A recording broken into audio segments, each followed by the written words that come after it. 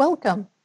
This is our first uh, lecture uh, that will, uh, and we'll be covering chapter one um, in this lecture. And uh, I just wanted to orient you this, since this is our first lecture, I wanted to orient you to how I organize my lecture slides and give you some advice about how to use them to uh, most efficiently in your studying and learning the material in the course this semester.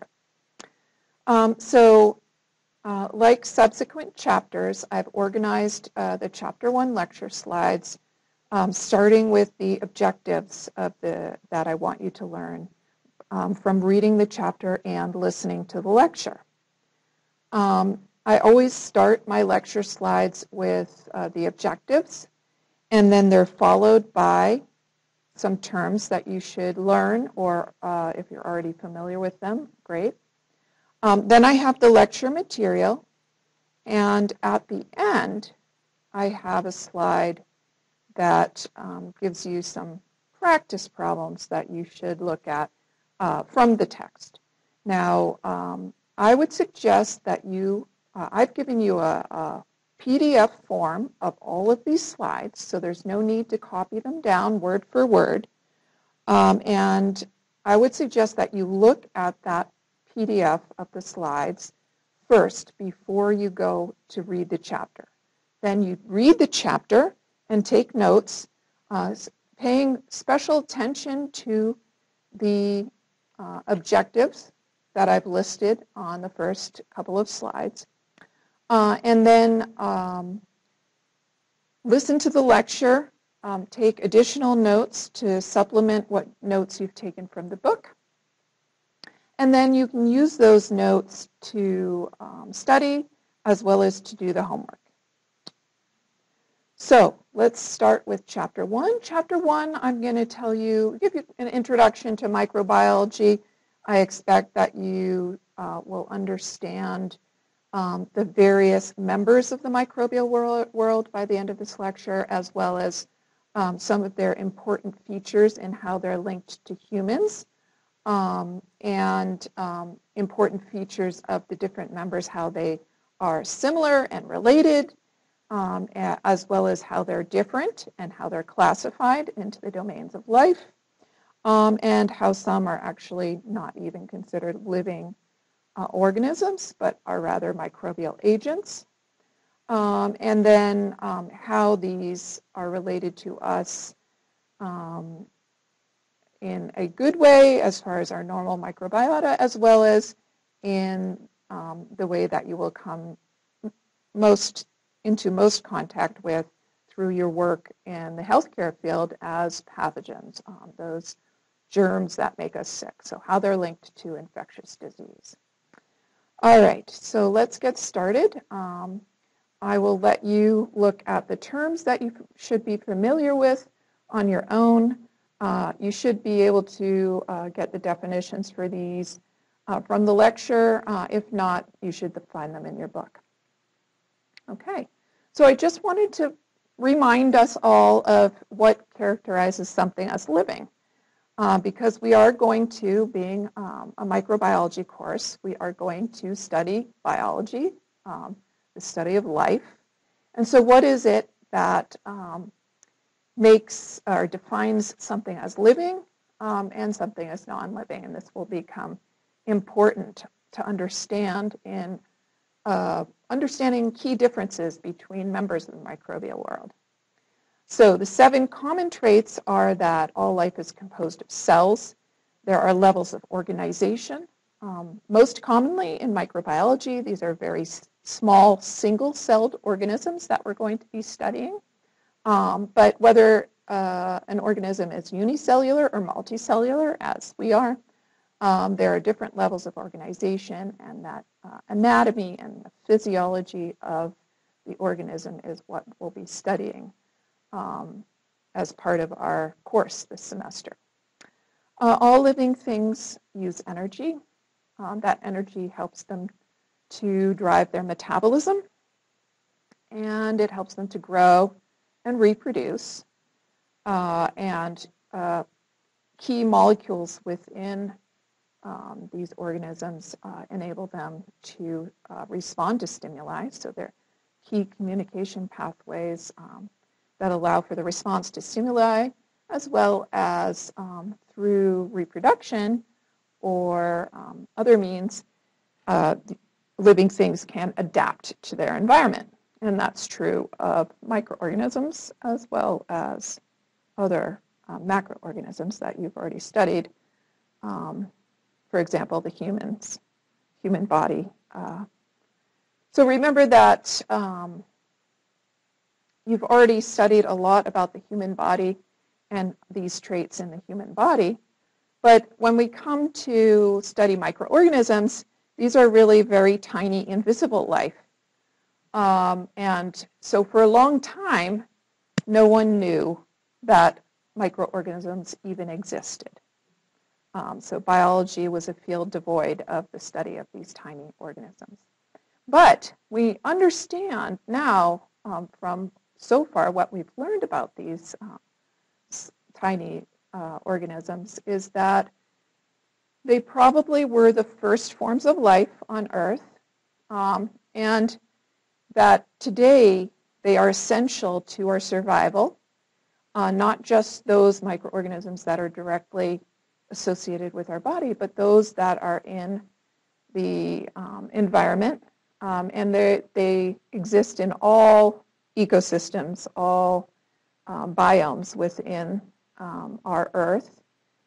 And so it's essential, these uh, microorganisms serve uh, roles within our environment of recycling essential nutrients, organic molecules, organic elements that are necessary for our bodies to function, our metabolism to um, occur, and for us to be able to have enough oxygen to breathe, etc. Um, and so over time, though, uh, just like we talk about human evolution, uh, microbes have changed. Um, and their relationships with other organisms, multicellular organisms, have changed as well. And so we'll look a little bit about how uh, our relationship with these um, tiny invisible organisms, um, what we know about it so far. So I use two terms, um, microbes and microorganisms. Um, they're usually used interchangeably, but I'll um, come to the, a key difference um, in a moment. But as far as microbes and humans, there's good news and bad news. Good news is that um, we have about 10 times or probably more than 10 times uh, um, as many microbial cells associated with our body, either in our body or on our skin, um, than we do actually have human cells. So just by the sheer number, 10 times more microbial cells than our own human cells, we can infer that this, these microbes are really key to our survival and our development. And through the Human Microbiome Project, we're really learning more about this relationship of these good microbes and the microbiome, um, the environment of our body, and how it serves as a habitat for these microorganisms. In addition, um, we rely on microbes for food production for preserving food, for treating infection, um, for um, mining precious minerals, and for uh, bioengineering, uh, because many of, them, many of them serve as biotechnology tools, so developing new med medicines uh, using microorganisms or their products. Um, the vast majority of microorganisms that are uh, on our earth are harmless to us. But of course, even though it's a small number of micro, microorganisms uh, and microbes that uh, affect us negatively in causing infectious disease, it is a significant and critical proportion of these microorganisms. And so a lot of the semester we'll be talking about some examples of micro, microbes and how they cause disease um, and how why they are uh, really the, the leading cause of uh, death for humans worldwide. Okay. So what is a microbe? Um, well, as I mentioned, a microbe is a microorganism, a very tiny, uh, invisible form of life. Uh, and um, the simple definition is that um, it is simply, a, a microbe is simply a tiny, invisible to the naked eye form of life. But there, it gets more complicated when you start to study the, the variety of microbes. Um, so, for example, some microorganisms can actually be seen with the naked eye, so they aren't invisible. Um, and others um, are able to grow multicellularly, uh, and so again, we can see them without um, any uh, tools to aid in making them bigger so that we can see them. Um, in fact, many microbes that are unicellular form communities in their growth um, called biofilms. So for example, bacteria. Um, and these communities can be seen um, by the naked eye. So they're macroscopic. Um, in addition, some microbes are not organisms. They're not considered living. Um, they, they lack a cellular structure. Um, they may even lack uh, genetic material in the case of prions. And so um, these organisms uh, kind of fall out of that very simple definition of a microbe as a microscopic organism. But for our purposes, we'll stick with this simple definition um, and uh, with the assumption that you understand um, these key caveats. So let's look at the members of the microbial world and a little bit about how they are similar and how they're classified and how those differences are used to classify them. Um, so all members of the microbial world are microbes but only some of them are organisms, as I alluded to um, when we were talking on the last slide. Um, so if we're just looking at the microorganisms, they can all be classified into those three domains of life that you lear learned in general biology, bacteria, archaea, and eukarya. So these um, three domains can be uh, divided into two groups based on their cell structure. Um, and uh, prokaryotes, um, the prokaryotic cell structure, where it's unicellular, has no internal compartments, no nucleus, um, are the cell structure of both those organ- microorganisms in the domain bacteria, as well as microorganisms in the domain archaea. But microorganisms in the domain eukarya have a eukaryotic cell structure. It's more complex, has internal compartments that are bound by a lipid bilayer, a membrane, a biological membrane. And um, so all of these members of the microbial world, algae, protozoa, fungi, um, and helminths, are all uh, part of this domain of eukarya.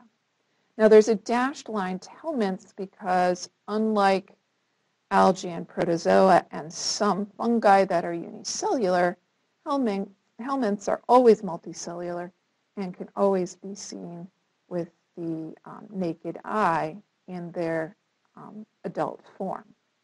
However, they do have microscopic forms of their life cycle, like the egg cycle. So they are um, and they also uh, cause infectious diseases, so they are grouped uh, and um, included in these members of the microbial world. On the other hand, there are some um, microbes that are non-living. They're infectious agents or microbial agents.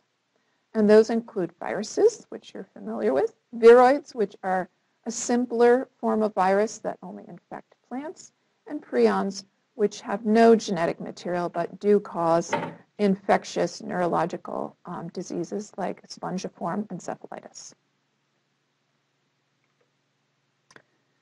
All right, so just uh, an aside for a moment on nomenclature because um, you'll see the names of organisms uh, within your text, and I just want you to be familiar with how um, microorganisms are named.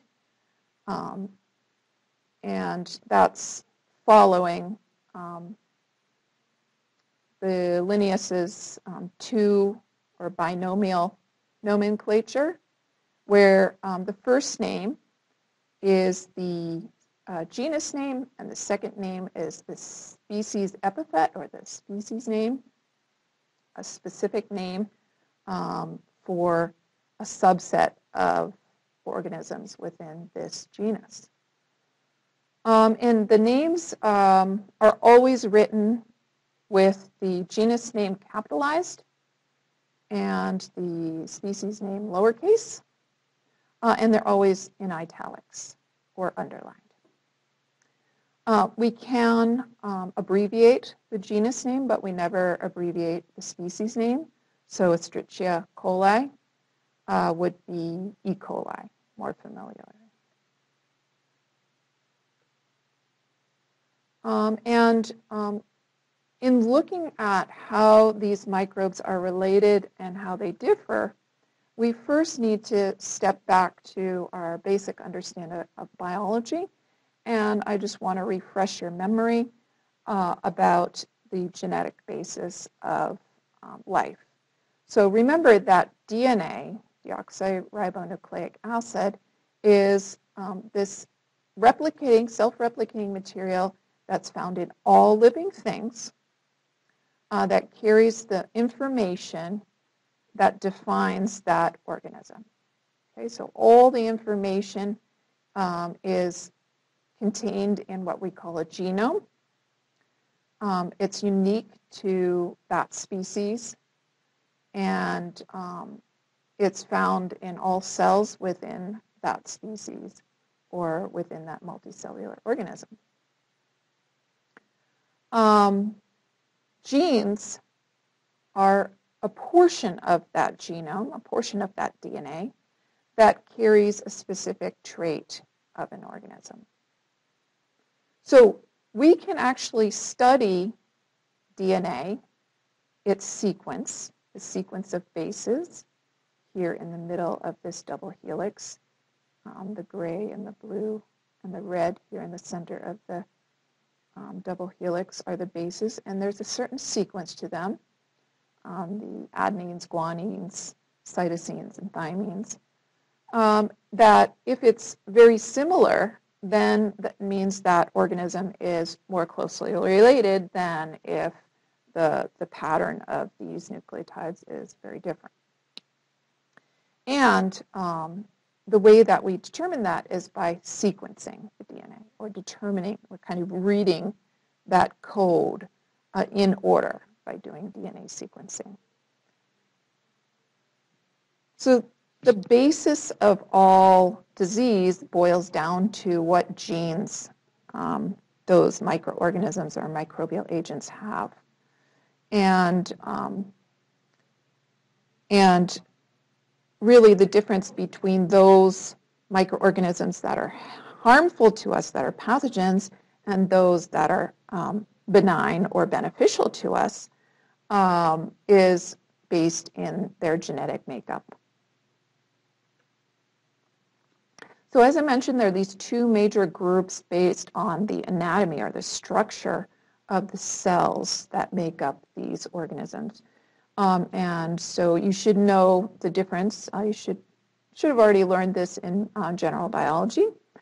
Um, prokaryotes um, have no internal compartments, no internal uh, lipid bilayers. They simply have one lipid bilayer around the entire cell. That's the cell membrane. So they don't have any nucleus or any organelles. Um, and this includes all of the microorganisms in the domain bacteria and archaea. Eukaryotes, on the other hand, are more complex. They do have internal compartments. They have a nucleus that contains, that's uh, bound by a uh, double lipid bilayer called the nuclear uh, envelope. And um, they have internal membrane uh, bound organelles such as the endoplasmic reticulum, Golgi, lysosomes, vacuoles, uh, endosomes, etc. Um, so review these. Um, we'll, uh, I'll expect you to know those differences um, between prokaryotes and eukaryotes. Uh, and these include microorganisms such as fungi, protozoa, algae, and helminths. So just quickly to, to introduce you to the various members and help you to um, at least initially know some key distinctions between them. Um, the bacteria and the archaea are very similar. Uh, they're both prokaryotic. Um, they're both around the same size, although this size, so a typical bacterium is about one to two microns, but it can be, uh, some bacteria are actually um, so big that you can see them without um, the aid of a microscope, so they can be quite big. There's always exceptions to the rule. Um, but on average, they're about one to two microns, uh, micrometers. Um, and this um, symbol here that looks like a U means micro, and then the M is the meter. So micrometers are microns in size. Uh, and you should review your, um, th these are metric measurements. So review your metric measurements if you're a bit rusty on that. We'll be only using metric measurements in this course. Um, and uh, bacteria are unicellular. They only have one cell, but they do grow as groups of cells, uh, communities that we call biofilms, um, or they can grow individually, um, or they can form filaments. And bacteria are found virtually everywhere. Everywhere we've looked, we've found in, in the uh, environment, we've found bacteria from um, the geysers of um, of Yellowstone Park to the forests to our own body, etc. Archaea, on the other hand, they're genetically distinct um, and they have uh, some key differences in their cell wall composition, so anatomically they're distinct. Um, and they're called extremophiles because they're not found everywhere in, in any environment, but instead in very uh, hot or very dry or very acidic or very salty environments. So hence their nickname extremophiles. So down at the bottom of the ocean under in, incredible pressure, archaea can live in deep sea vents um, that spew out very hot gases from the core of the earth. Um, another key difference is that bacteria, a small portion of them, are um, pathogenic, whereas um, we have no known record of any archaea being um, pathogenic. So they're non-pathogenic as far as we know. So moving on to the eukaryotic members of the microbial world, uh, protozoa and algae are protists. They're unicellular. Algae can be also multicellular, but we'll be focusing on unicellular. And um, they, uh, in the case of protozoa, they're defined by their motility, so they're grouped and classified by their motility. And they can be either living uh, free or uh, relying on a host uh, to um, survive and in that case, they're parasitic. So they can be uh, pathogens of humans um, or other animals. Algae, on the other hand, they're mostly in aquatic, uh, aquatic environments, um, although some are found on the land. And they're unique because, uh, or different, distinct from protozoa because they are capable of carrying out photosynthesis. Um, they contain chloroplasts, um, which help to capture that light energy and convert it into a, a useful form of ATP for um, the algae to grow. And as such, they serve kind of as that basic food source. Um, there are even um, protozoa will even feed on um, bacteria and algae as part of their diet. Fungi, uh, also eukaryotic, however, they are not motile. They rely on spores that passively travel through the air in order to um, move from place to place, from a, nutri a nutrient-rich environment to the next nutrient-rich environment. They grow by absorbing nutrients across their plasma membrane, but they also have a cell wall, which is important, uh, as do algae. However, um, protozoa lack a cell wall, and that's also a distinct um, a distinction between them and other um, microorganisms of the eukaryotic um, uh, group. Um, and then just an aside about cell walls, fungi have a distinct cell wall comp composition um, that's not like bacteria. Uh, it's mostly chitin or other glycans um, and also distinct from algae, which have a cell wall made similar to plants made of cellulose. So the vast majority of fungi are saprophytic. That means they're growing on dead and decaying material, and they're important recyclers in our environment. But some of them can cause disease in humans. Um, they rarely cause a primary infection, and meaning they rarely cause disease in healthy individuals, but they often cause disease in immunocompromised or um, individuals with a weak immune system. So they're opportunistic pathogens. That's what we call them. Viruses, on the other hand, are the example of the non-cellular um, microbial agents. Um, and they are composed of, so they don't have any um, organelles that would enable them to reproduce independently, and, and so they lack that cell structure. However, um, they do have genetic material.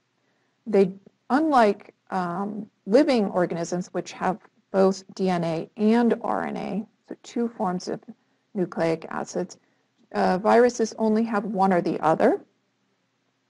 Um, but it, these um, genetic, the, the genetic material that they do have carries genes that are necessary for uh, producing another complete infectious virus particle.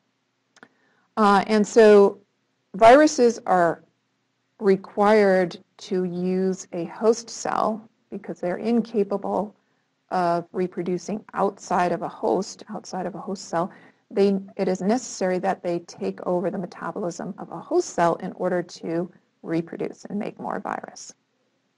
So they have some qualities of living organisms, but not all of the qualities. Uh, they're important um, human pathogens, uh, as well as now they're often used as biotechnology tools in treating disease, uh, for example, cancers, in delivering the, the molecules uh, or the agents that are used in, as anti-cancer agents directly to that tumor. Other uh, non-living members of the microbial world include viroids, uh, which are also acellular or non-cellular. Um, they don't have DNA, but they do have genetic material in the form of RNA, which carries genes that are necessary for them to generate more virus. And they don't cause disease in humans, but they do cause plant disease. And then finally, prions, which really uh, within my lifetime, um, set molecular biology on its head by uh, the surprising finding that it was indeed an infectious agent that contained no genetic material at all. So no DNA, no RNA. Normally, the protein is found in our neural tissue, but if you somehow acquire the misfolded protein, um, either by ingesting contaminated meat such as mad cow disease, um, would uh, transfer that misfolded protein, or by uh, genetically inherited um, form, uh, as far as Creutzfeldt-Jakob syndrome is uh, concerned, that misfolded protein can then cause the normal protein to become the disease form. And hence, over time, you get this neurodegenerative disease. Um, so we know that microbes exist now because we can see them. Um, but prior to that time, it was diseases were known, but there was no link between diseases and their causative agent. So really, the advent of microscopes um, were the first um, introduction to the mi microbial world. And uh, Robert Hooke in 1665 um, was the first to build a compound microscope. And he looked at various tissues, plants and uh, animal tissues, and he noticed something about them that they had in common.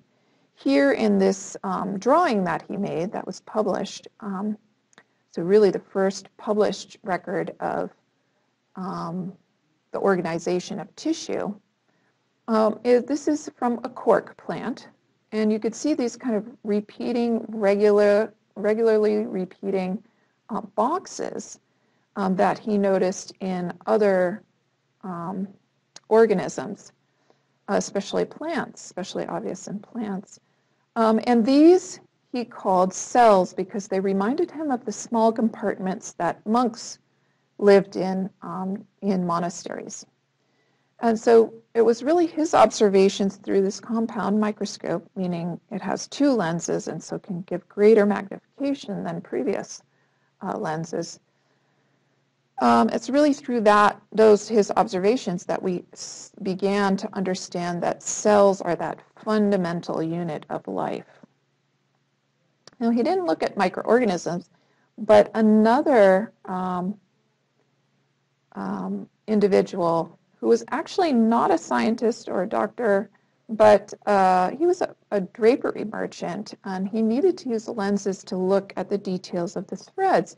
But he was particularly adept at grinding the lenses and got, even just with a single lens, much more powerful mic, uh, magnification than Hooke did with his compound microscope. And so he was able to look through these lenses and he was just curious about light uh, things in general, and so he would look at various things, including um, a drop of pond water.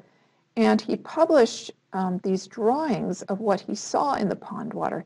These tiny rod shape or circular uh, organisms, or even wavy organisms that moved from point to point. And this he called these he called animalcules but really his was the first written record of microorganisms. Um, so at this time, um, people did not really understand, you know, a natural question that would arise from these tiny organisms is where did they come from? And people were always um, questioning um, where does life come from? And with multicellular organisms, humans, um, it was clear that you know humans would mate and then they would have children, and so humans came from humans. But what about these tiny, newly discovered organisms? And so, for many biologists, they believe that they just kind of magically appeared. Um, that many organisms were able to spontaneously generate. Um, and it wasn't until some really extensive experiments uh, over almost a century of time that we understand uh, really the, the biogenesis uh, is responsible. So pre-existing organisms is responsible. So I just wanted to uh, go over some of these experiments that um, are key to our understanding of how microorganisms arise. So uh, an Italian, Spallanzani, uh, um, used uh, a kind of ground up meat broth um, and observed that if he left a flask of this meat broth open to the air, like a beaker, um, it would become cloudy and full of life. Um, but if he covered, if he boiled the broth and then um, left it covered, he would not find um, any life. So he sealed, you know, if he stoppered it or sealed it somehow so that um, no uh, air could get in it, um, then there was no life. It remained clear. So this was the first indication that it wasn't just that nutritious broth that was like spontaneously uh, giving rise to this new form of life.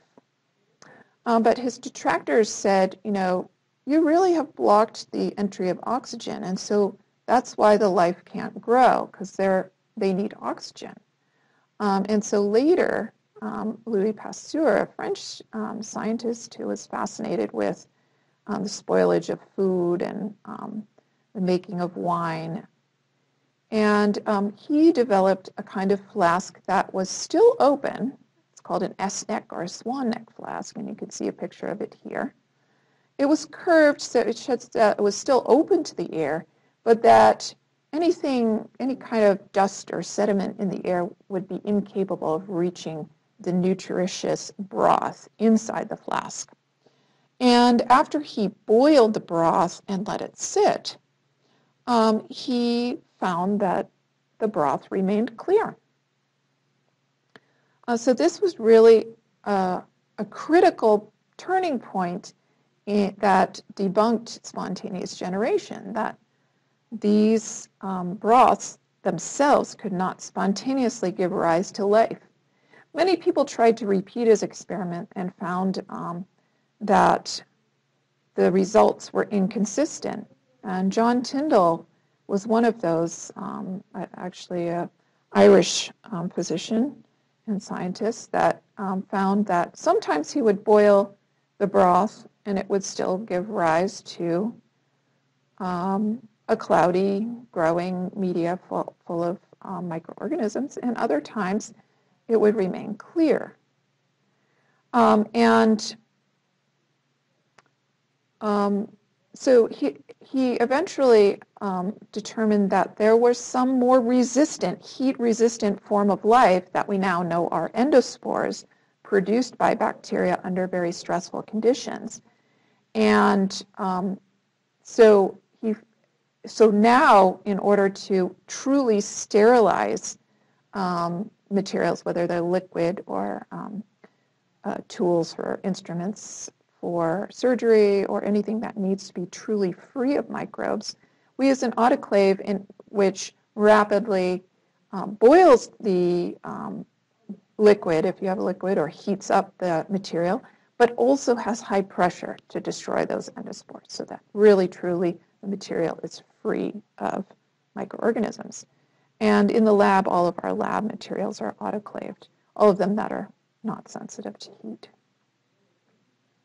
So here with this series of, um, of experiments, um, here shown in more detail uh, in this figure where the broth on the swan neck flask is boiled, it's allowed to cool, and then for years, even there's still a flask in the Pasteur Institute in France that you can go and visit today that's still to this day, more than 100 years after the experiment was done, um, is clear.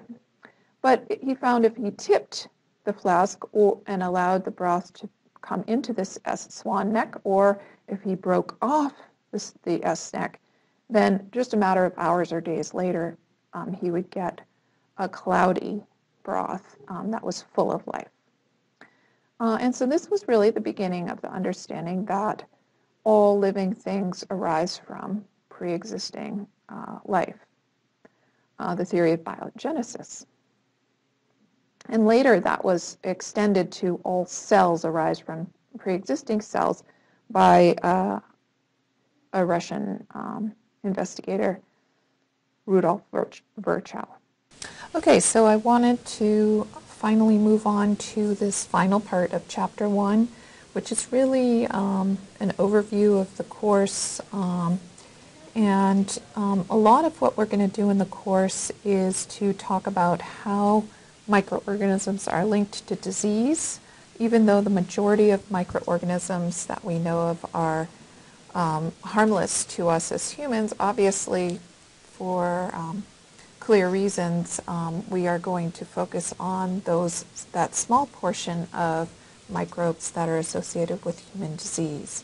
So what is it, the big question that we're going to address is what is it that make these microorganisms that cause disease in humans different from all of those other microorganisms that are uh, essential to our ecosystem, but that are harmless to us, right? So one of the first um, observations, um, even before we knew um, what microbes were, um, we understood what disease was. We understood that disease could cause the human organism to go into a state of um, ill health and um, that the state was altered from that healthy um, status of the, of the organism. And so uh, it wasn't really until the first observations of these tiny invisible organisms um, that scientists and physicians started to make a link between and make get some idea that there was a link between um, these tiny in, invisible forms of life and the health status of uh, humans. Um, and so there are a few really important contributors to this idea. Um, one was a uh, Muslim physician and philosopher, Ibn Sina, who noted um, that specific diseases had, um, excuse me, specific diseases are caused by specific kinds of microbes. So he made that link between microbes and disease and that not every microbe would cause the same disease, that different microbes were associated with different symptoms. Um, uh, also, Florence Nightingale, um, a really um, influential figure in the field of nursing, first to write a nursing textbook and really to um, establish uh, a curriculum for uh, training nurses and also the first to um, really record the significance of death um, due to disease, um, due to infectious disease. Um, and here's a figure um, from one of her publications um, where she basically graphed out and did the statistics to show that infectious disease was a major contributor to death during um, wartime from uh, 1855 to 1856. And you can see that by the um, blue wedges, which are representing the infectious diseases, being much larger than the um, pale red wedges, which are death due to battle wounds, which also could be um, as a result of uh, sepsis um, or the presence of an, uh, systemic infection um, with microbes, and then other unknown um, causes in the black wedges. So you can see during this um, period of time from April all the way to um, November and December, um, the largest wedge um, for most of these months was the mortality or the deaths due to infectious diseases. And then finally, later, uh, Robert Koch, Koch um, developed um, steps to actually prove this relationship that Ibn Sina had originally made between, uh, noticed between um, that link between microbes and specific infectious diseases. And so he developed a certain uh, sequence of uh, steps that you could do in order to um, really demonstrate that link. And I'll come to that in a minute. Um, but really these statistics that um, Florence Nightingale um, began collecting and then uh, became the foundation for what we now call epidemiology or the study of public health. And these statistics are really key in highlighting what would otherwise go unnoticed as far as the trends in infectious diseases. So here are a couple of um, graphs that are typical of recordings of uh, for infectious diseases or made by epidemiologists in their practice. So the first one on the top here with the blue bars is the number of hospitalizations. So you can see uh, on the the weeks of the year um, are on the x-axis, and you can see that from weeks, say, about 42 to 45, there's a peak in hospitalizations. And then um, down at the bottom here in these gold peaks, uh, gold bars uh, show the number of deaths at that hospital. And you can see um, that the hospital deaths follow quickly after that peak in hospitalizations. There's a subsequent peak in deaths. Um, so these kinds of observations are important for improving public health, improving practice in hospitals to avoid um, and prevent um, not only um, deaths but also the spread of disease.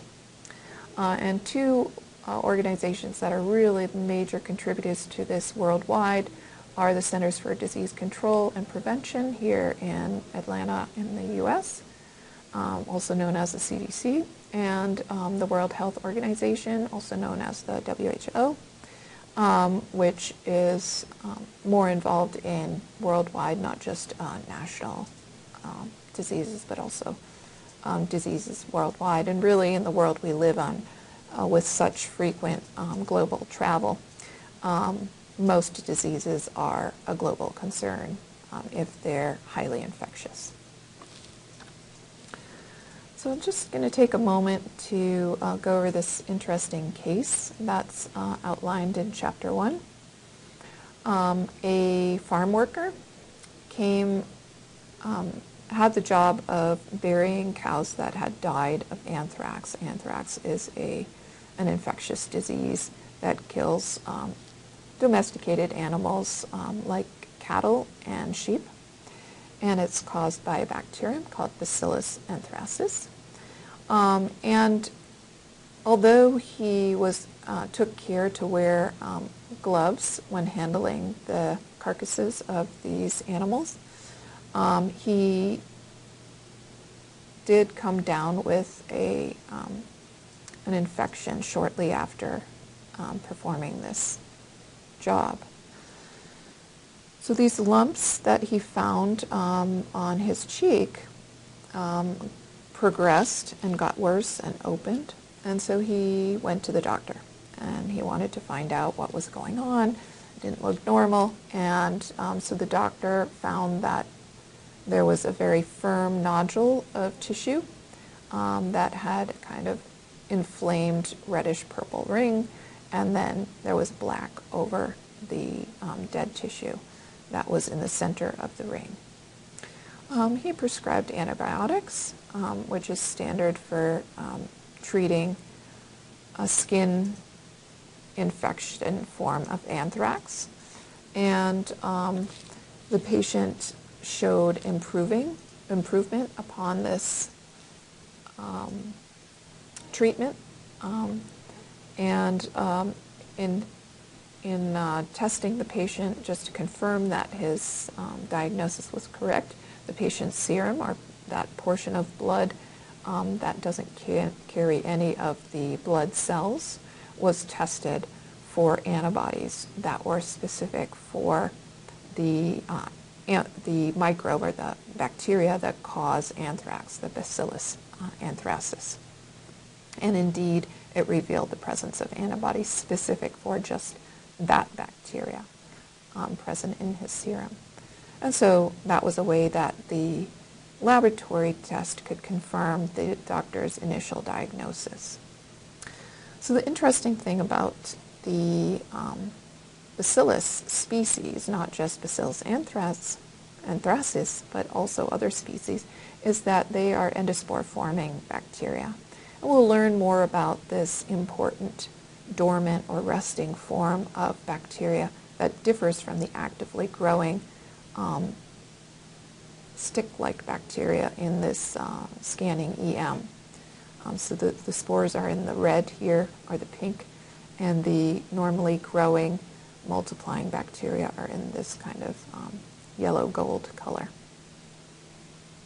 We'll talk more about that when we talk about the structure of bacteria and the various forms of bacteria. Um, so the interesting thing about anthrax is that it happened also to be the organism that Robert Koch um, was studying when he developed his the Koch's postulates. And um, what he did was he developed a way of actually growing the microorganism, the bacteria, in a lab setting. Um, and he grew just, he discovered a way to grow just that one type of bacteria and no others. So he, eh, which is called a pure culture. It's own growth of a single type of microorganism um, in this kind of nutrient-rich rich media, which can be either uh, in a solid form or a liquid form. And we're going to learn about the and use these um, kinds of techniques in lab this semester. So the, the steps that he established to link a specific pathogen with a specific disease are these four steps. First, you had to find the microbe in all cases of the disease, um, but not in healthy individuals. Second, you had to isolate the microbe and grow it in pure culture. Third, um, you had to test the microbe's ability to cause disease by introducing it into a host animal or into a healthy human um, and waiting to see if the same symptoms, signs and symptoms occurred. Uh, and then finally, you had to once again isolate that same microbe from the test uh, animal or test host. So these four um, steps were are important criteria um, that have enabled us to identify the cause of many, many infectious diseases. However, they don't always work for every um, pathogen. Uh, so for example, Mycobacterium tuberculosis, which is the causative agent, um, it's a bacteria that causes tuberculosis in humans, um, actually only causes symptoms in about 10% of the people who have been exposed or infected with this bacteria. Um, so step one was not fulfilled in that case. Um, in the case of HIV, it's often at very low levels and uh, very hard to detect in the early stages before it progresses to AIDS. Um, and, so, and also the, the um, host, um, there's uh, not a, an effective or a good um, animal host for uh, experimenting. And of course, experimenting with humans would be unethical. So there's a limitation in how far you can go with these four postulates um, in some, in the cases of some infectious diseases. Um, one story that I want to share with you though is about Barry Marshall, an Australian physician who was so convinced um, because of the correlation that he saw with many, many, almost all of his patients having a bacterial infection um, with Helicobacter um, pylori um, when they came in and complained of symptoms of ulcers um, or ulcerative colitis, so an inflammation of the colon um, in the form of um, in the form of ulcers. and when he tested these patients, he found that they had um, Helicobacter pylori in their um, stomach, and it was colonizing the stomach. And um, so he boldly um, stepped up, and he and some of his lab um, co-workers decided to test the uh, Koch's postulates on themselves um, steps three and step four. And they actually drank a pure culture of Helicobacter pylori, infected themselves, um, showed that they got the same symptoms uh, as the ulcer patients, and then cured themselves with an antibiotic. Uh, and really, it was, wasn't until this bold move that the rest of the medical community, who was convinced it was simply lifestyle changes, um, such as high stress that would um, contribute to ulcers, Um, but so until then, he had a very, uh, Barry Marshall had a very hard time convincing the rest of the medical community that this was not simply a lifestyle symptom, it was actually an infectious disease.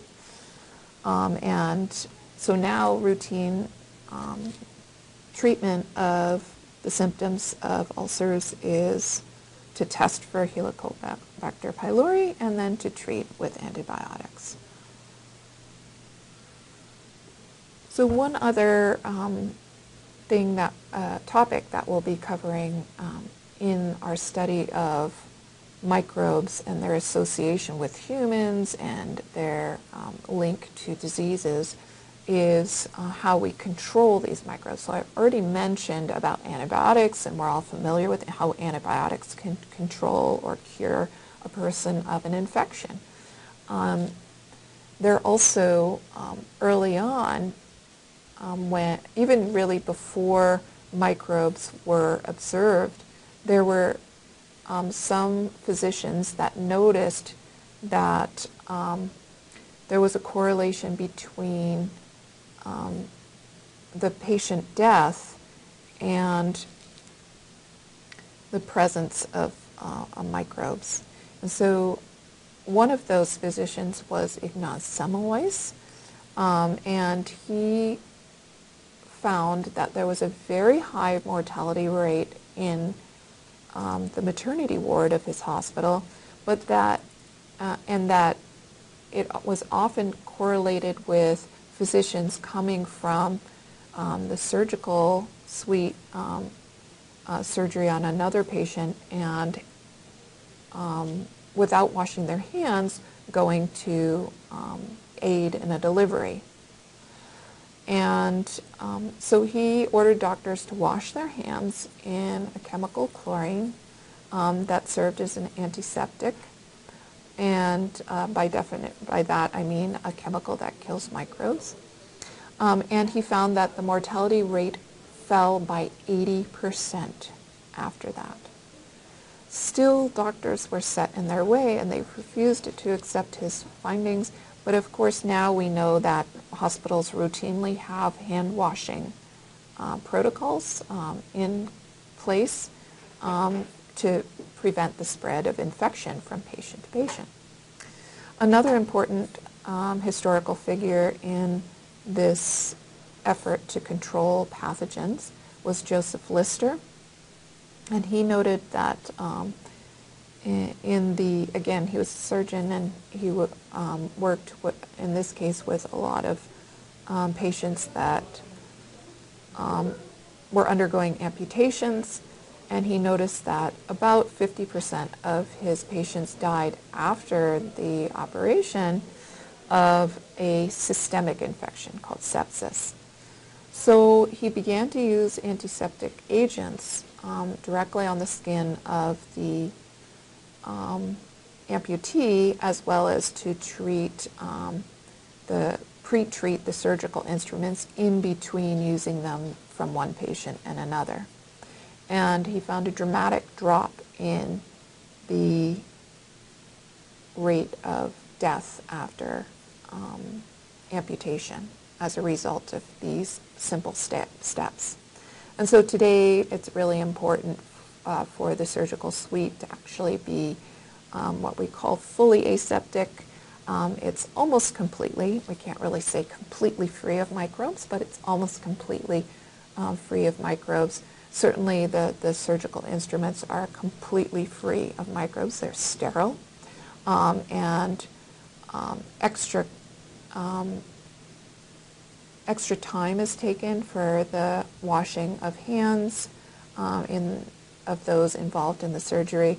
Um, surgical gloves are worn when handling, um, when undergoing the surgery. And the patient's skin which is now actually one of the sources of infection post-surgery, um, is also treated with, um, with antiseptics that can um, provide a somewhat aseptic environment even on the skin of the um, individual undergoing surgery. So as I mentioned, one, another way to control uh, pathogen is, is, the use of antibiotics. So how did we come about um, discovering antibiotics? And that was really a key observa observation um, made actually just serendipitously, just by accident, um, when Alexander Fleming left a plate of the bacteria that he was um, studying out over uh, a period of several days when he was out of the lab. And he came back and was going to throw out the, the plates since they were quite old by that time. Um, he normally only grew the, the plates overnight um, or at the most over two nights.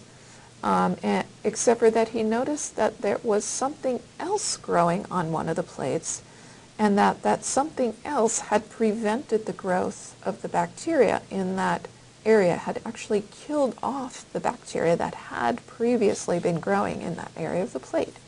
And so you can see over here this white dot represents that um, mold um, that he found growing on the plate and the um, smaller gray dots um, and areas of growth that you see on the dark background, which is the uh, nutrient-rich media that the bacteria are the bacteria growing on that nutrient-rich media.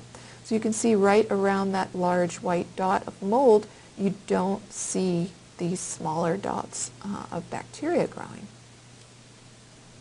So that was really an important observation, but he was actually unable to figure out how to purify whatever it was that the mold was producing that was um, toxic to the bacteria. And it was instead a couple of other um, biochemists that were able to um, purify it, um, one of which was uh, Ernst Chain.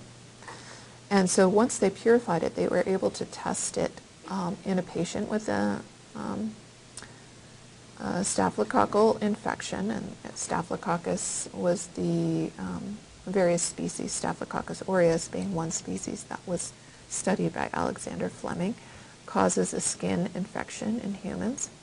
And so this antibiotic was tested in an individual, actually uh, a British policeman that was sick with Staphylococcus. And he made a remarkable recovery um, before actually um, going back into uh, um, before the bacteria actually ended up um, regrowing and reinfecting him and actually leading to his, his death um, because they had run out of the antibiotics. So, but that was really the first demonstration that antibiotics could possibly uh, cure in, uh, individuals of infection.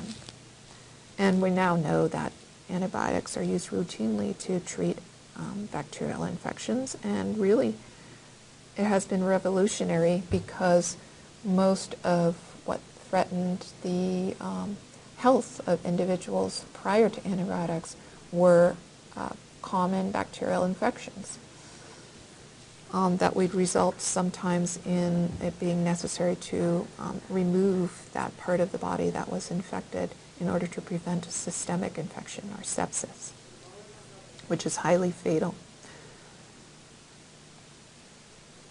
Okay, so I'm going to leave you with that and um, just remind you that um, there's some practice problems in the book. The, you should be doing the thought questions throughout the chapter. The answers are in the back of each chapter. And then I have uh, highlighted a few of the review questions and the clinical questions at the end of the chapter that I think you should focus on.